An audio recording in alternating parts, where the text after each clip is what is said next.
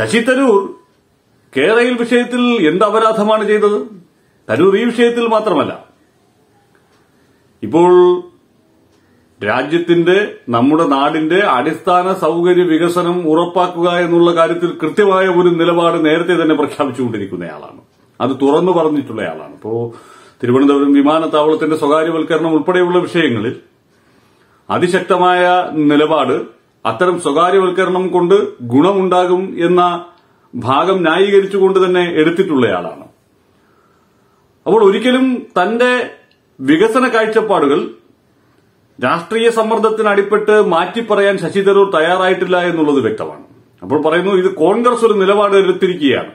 അതുകൊണ്ട് കോൺഗ്രസിന്റെ നിലപാടിനപ്പുറത്ത് നിൽക്കാൻ വ്യക്തിപരമായ വിയോജിപ്പുകൾ ഉണ്ടെങ്കിലും ഒരാൾക്ക് സാധിക്കില്ല എന്നുള്ളത്. കോൺഗ്രസ് യഥാർത്ഥത്തിൽ ഈ അർത്ഥ അതിവേഗ പാതയുടെ കാര്യത്തിലുള്ള നിലപാടെന്താണ്? കോൺഗ്രസ് എന്ന് പറയുന്നത് കെ സുധാകരൻ നേതൃത്വം നൽകുന്ന കേരളത്തിലെ കോൺഗ്രസ് അല്ലല്ലോ. സോണിയാഗാന്ധി നേതൃത്വം നൽകുന്ന ദേശീയ തലത്തിലുള്ള ഒരു കോൺഗ്രസ് ഉണ്ട്. ആ കോൺഗ്രസിന്റെ ഭാഗമാണ് കെ പി സി സി എന്ന് വിശ്വസിക്കാനാണ് നമുക്കൊക്കെ ഇഷ്ടം.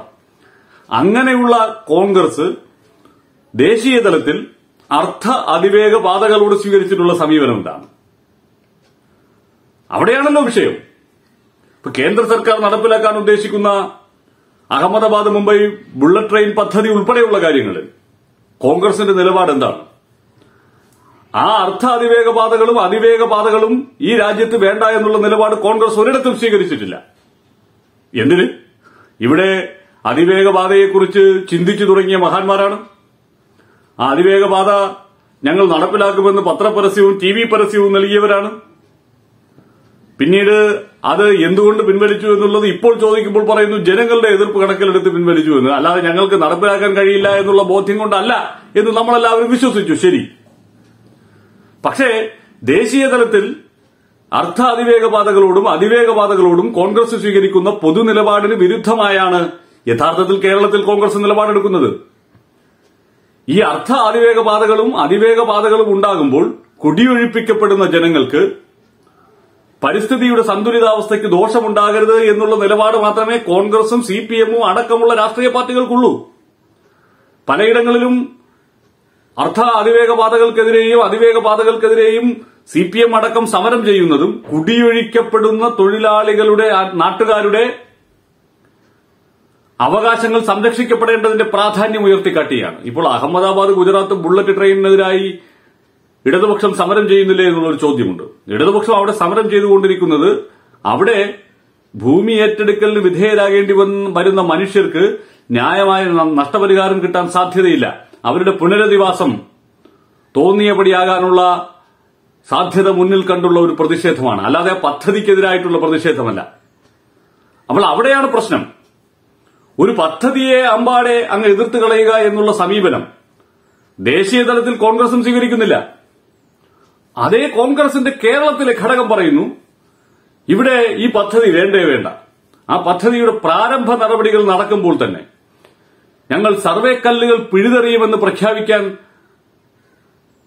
ഒരു ദേശീയ പാർട്ടിയായ കോൺഗ്രസിന് എങ്ങനെ സാധിക്കുന്നു എന്നുള്ളതാണ്. ആ നിലപാടിനൊപ്പം നിൽക്കാത്തതിന്റെ പേരിൽ ശശി തരൂരിനെ വിരട്ടാൻ ഗർജിക്കുമ്പോൾ കെ പി സി സി അധ്യക്ഷൻ കെ സുധാകരൻ ആലോചിക്കേണ്ടത്.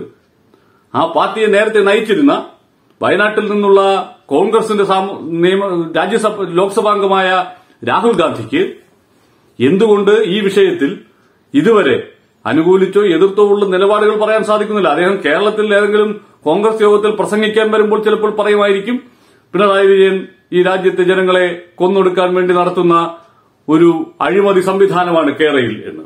നാട്ടുകാരന്റെ അന്നം മുട്ടിക്കാനുള്ള സംവിധാനമാണ് എന്ന് പ്രസംഗിക്കുമായിരിക്കും. പക്ഷേ കേരളത്തിന്റെ അതിർത്തി വിട്ടുകഴിഞ്ഞാൽ ഇത്തരമൊരു വികസന പദ്ധതിക്കെതിരായിട്ടുള്ള നിലപാട് രാഹുൽ ഗാന്ധിക്ക് പ്രഖ്യാപിക്കാൻ സാധിക്കുമോ?